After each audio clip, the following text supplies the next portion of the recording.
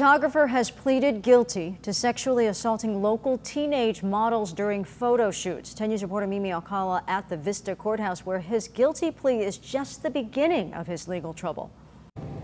And Robert Koester has two other cases going against him, one in federal court, the other all the way in Oregon, where he actually faces life in prison. Here today at the Vista Courthouse, he pleaded guilty to sexually assaulting four teenage girls and now faces 25 years in state prison.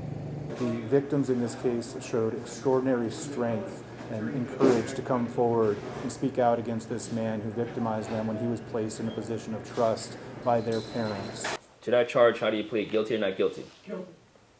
Koester spoke behind a glass window as he pleaded guilty to 23 charges of sex crimes against minors. Some of the survivors of his acts broke down in the courtroom listening as the judge read off the horrific sexual abuse they went through. Koester was arrested by Carlsbad police back in November after a 16 year old girl told her father she was sexually assaulted by him during a photo shoot.